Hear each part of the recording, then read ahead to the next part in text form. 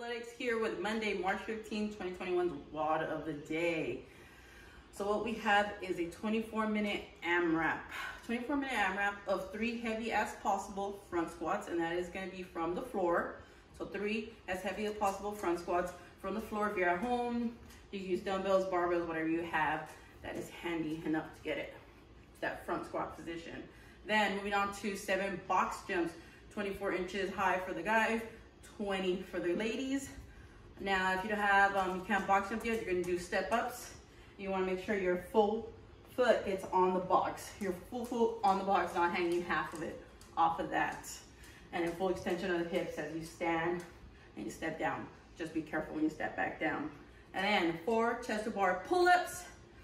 If you're at home and you don't have your pull-up bar, once again, we're gonna be doing those hollow presses. This time we're gonna be doing eight though. So just double the number of the four chest bar pull-ups, it'll be eight hollow presses.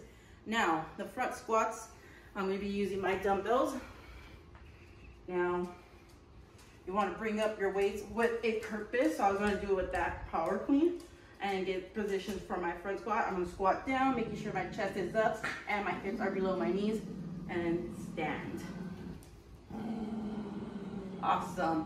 Now, for the hollow presses at home, guys, we're gonna get into that hollow position and then we're gonna press up. Artemis, move it. We're gonna press up